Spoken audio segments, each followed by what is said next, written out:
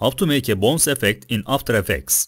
In this video, I'm going to show you how. We are going to draw an object on the scene and we are going to make it bounce like a realistic ball, which could be an image you have added to the project. To do this, we are not going to struggle with keyframes. We are going to use expressions. Thanks to expressions, we can easily apply such hard-looking animations to our project. First of all, I created a new composition. It can be 9020 by 1080. This is already our standard size.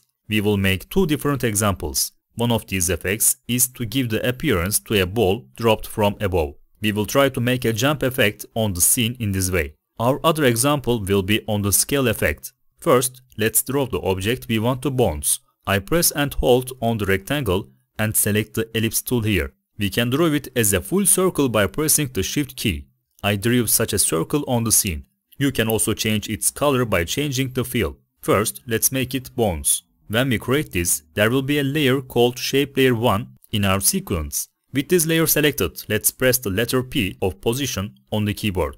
It will show us the position properly directly. With the timeline at the beginning, I give it a position keyframe. I move the timeline forward a little bit and this time I set the end point where the ball will come. I want the ball to come all the way here. When I play the project, we have given it such a movement. Now go to the website via the link I will leave below and copy the code there. You will need it here in a moment. After copying the code, I press the Alt key on the keyboard and click on the icon that we have just keyframed. When we click on it, as you can see, an expression field will open. And if we paste the previous code in this expression field and click on any point in the scene, we will send the code here. And now, when I play it, you will see that the ball bounced a little bit. I'm going to expand the expression field a little bit because I might want to change this bounce effect on the ball by editing the code.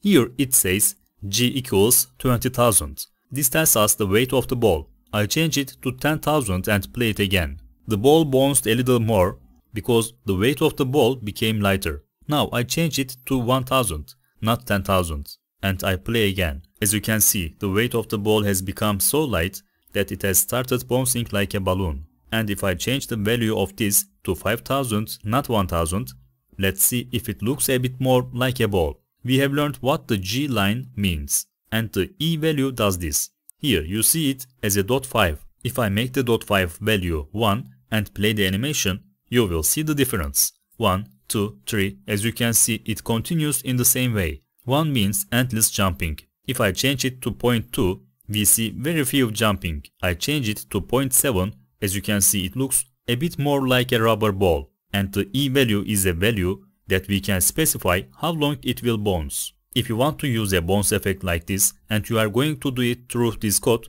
you can change the values here to get the most suitable shape for your project. I want to make it 0.8. Let's make it 0.8. As you can see, it jumps and finishes this jumping process at a later rate. This is the bounce feature. I'm going to delete the shape layer and create a new circle. This time we are going to try to use the scale effect. Here I want to give an effect to scale. So I press the letter S on the keyboard. As you can see, only the scale feature is turned on.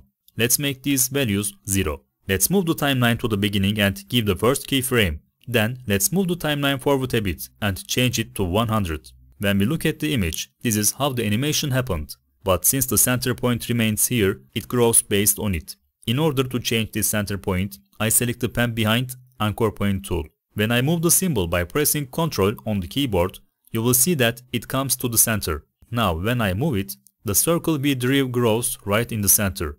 Having the anchor point centered will look more aesthetic for now. Again, we copy the code written for scale, which you can find on the same page in the link below. I open After Effects and click on the keyframe icon by pressing the Alt key and paste the code we just copied here. Now let's look at our animation. How did this code we added give us a return? I play it and as you can see, Whereas before there was a static growth, now this code has made that growth more realistic. As we did before, there are some values here.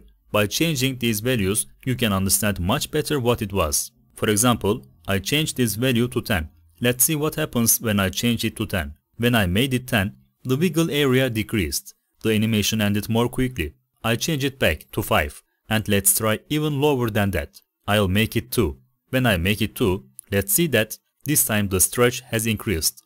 We can clearly see that the stretch time is longer with 2. Let's change the frequency value to 5 instead of 2 and see what the result will be. This is how it looks after 5. Anyway, frequency means that the flicker value has increased. The default value was 2 and what happens if I make it 1? We will have a slower animation. The amp value is also related to how much flexibility it will provide outwards. If I make it 0.5, the outward part will be a little bit more. Look, it is much bigger than before. Again, you can adjust the values here to suit yourself. Expression logic is very important. As you can see, by adding a few lines of code, we can make these animations much more realistically by manually keyframing. If we try to do them without expression, we will both waste time and the result will not be so realistic. Through these expressions, we can make jumping effects or stretching effects very easily. That's it for this video. If you like this video, don't forget to like and subscribe. I'll see you in the next video.